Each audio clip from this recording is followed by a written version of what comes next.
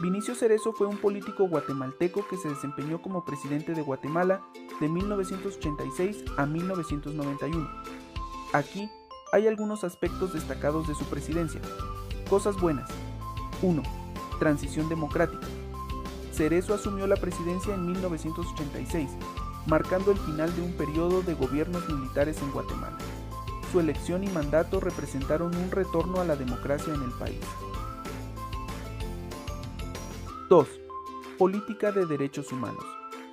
Durante su presidencia se tomaron medidas para abordar problemas de derechos humanos que habían persistido durante el conflicto armado interno.